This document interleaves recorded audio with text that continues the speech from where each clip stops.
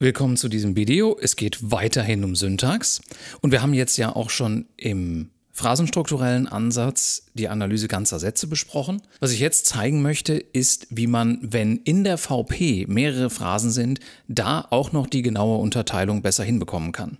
Es geht also um den Satz, wir haben gestern mit dem Porsche eine Panne gehabt. Als erstes analysieren wir jetzt den Teil, den wir schon besprochen haben, also bewegte Konstituenten und Verbalkomplex, damit wir erstmal wissen, wo die VP beginnt und aufhört. Sie können das gerne jetzt durchexerzieren und dafür das Video anhalten.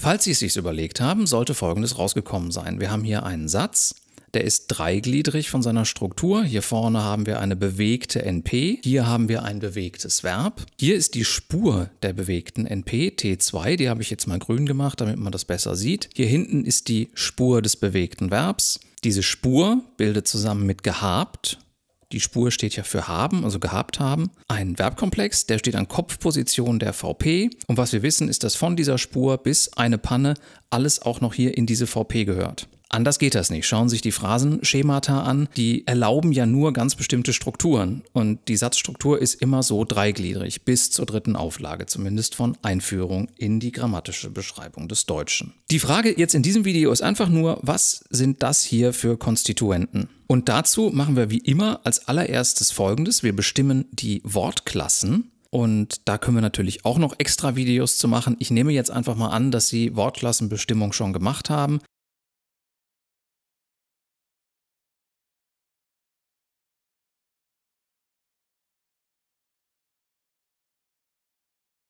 Wir sehen jetzt, wir haben hier ein Adverb, eine Präposition, ein Artikel, Substantiv, Artikel, Substantiv. Die Frage ist, in welchen Gruppen gehören die zusammen? Die hängen ja nicht alle jetzt einfach so in der VP drin. Und dazu kennen Sie einen Test aus der Schule eigentlich noch. Sie versuchen von dem, was hier steht, jeweils Gruppen von Wörtern anstelle des Wirs hier nach vorne zu stellen.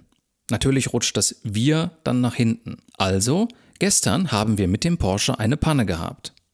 Da haben sie dann gestern an die Stelle hier gestellt. Gestern haben wir mit dem Porsche eine Panne gehabt. Und das sagt Ihnen, dass gestern eine Phrase ist. Dieser Test funktioniert nicht immer zuverlässig. Es gibt mit diesem Test Probleme. Aber wenn Sie in erster Näherung keine bessere Strategie haben, wird Ihnen die in 90 Prozent aller Fälle korrekt weiterhelfen. Was wir jetzt wissen, ist, dass das hier eine Adverbphrase ist. Das ist ein Adverb. Das ist auf jeden Fall eine Phrase. Wir können es ja nach vorne stellen. Und damit wissen wir, es muss eine Adverbphrase sein. Es ist ja nur ein Wort vorhanden, das muss also der Kopf sein und da das ein Adverb ist, muss die Phrase eine Adverbphrase sein.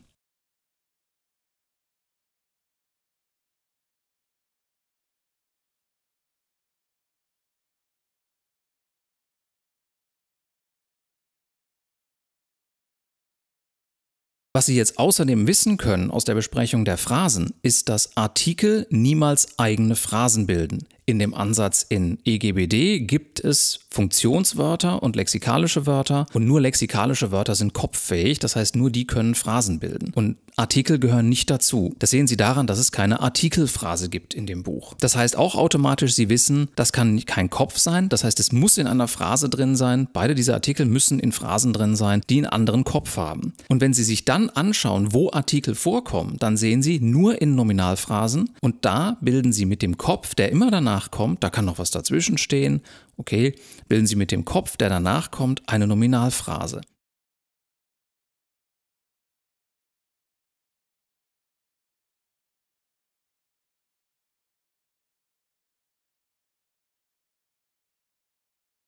Das heißt, auch schon für dem Porsche und eine Panne können Sie jetzt entscheiden, auch theoretisch, ohne das ins Vorfeld gestellt zu haben, dass das Nominalphrasen sind.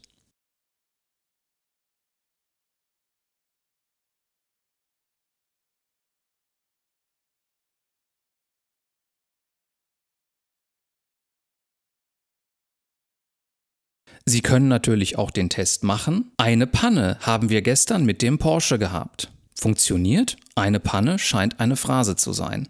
Dem Porsche haben wir gestern mit eine Panne gehabt. Das geht nicht. Und da sehen Sie gleich eine Grenze von diesem Test. Der kann Ihnen nämlich nicht beliebig kleine Phrasen hier erkennen, sondern nur welche, die direkt in der VP drin hängen. In der Schule nennen Sie die Satzglieder. Wenn Sie sich aber überlegen, dem Porsche kann ich nicht hier vorne hinstellen, mit dem Porsche haben wir gestern eine Panne gehabt. Das geht. Und mit ist ja nun auch das einzige Wort, was hier noch übrig ist. Das heißt, mit dem Porsche muss eine Phrase sein. Und jetzt gilt wieder, schauen Sie sich an, was Präpositionen in der Syntax überhaupt können. Eine Präposition taucht nur in einem einzigen Phrasenschema auf, nämlich in der Präpositionalphrase. Und da steht immer nach der Präpositionalphrase eine NP und die Präposition regiert diese Nominalphrase. Sie bestimmt auch den Kasus mit dem Porsche, Dativ. Das liegt an dem mit.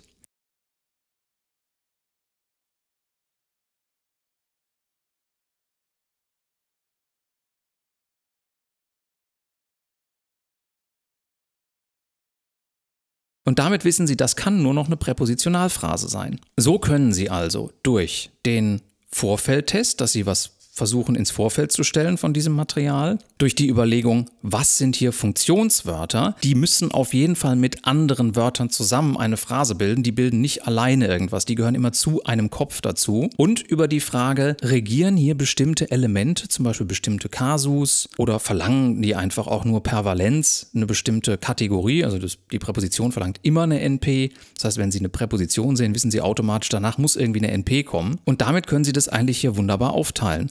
Und damit sind sie eigentlich auch schon fertig. Sie haben jetzt hier alles zu Phrasen zusammengebaut und können die jetzt eingliedern einfach in diese VP direkt.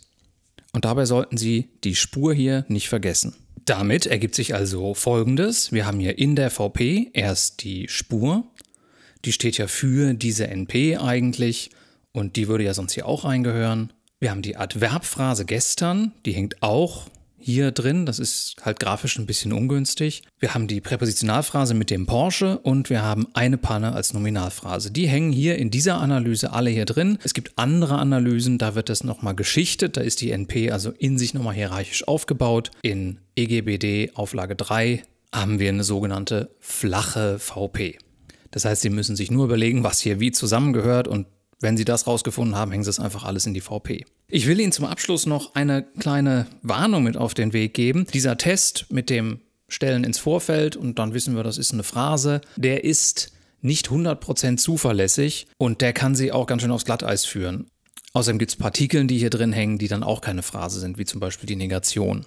Was Sie aber immer machen können, und das werde ich nochmal gesondert thematisieren, ist schauen, ob für die Strukturen, die Sie hier überhaupt annehmen, also diese Adverbsphrase, diese Präpositionalphrase, diese Nominalphrase, ob Sie dafür überhaupt ein Phrasenschema haben, was die lizenziert. Die Funktion der Phrasenschemata ist ja Ihnen zu sagen, welche Strukturen wir überhaupt annehmen. Die schränken also Ihre möglichen Analysen erheblich ein. Die schränken zum Beispiel Ihre Analysen so ein, dass Sie wissen können, wenn Sie in die Phrasenschemata schauen, mit dem Porsche eine Panne kann niemals eine Phrase sein. Da brauchen Sie überhaupt nicht drüber nachzudenken. Deswegen können Sie halt hier durch diesen Baum immer durchgehen und schauen, okay, Gibt es hierfür überhaupt einen Bauplan? Gibt es hierfür einen, hierfür, hierfür und für eigentlich jeden Knoten in diesem Baum.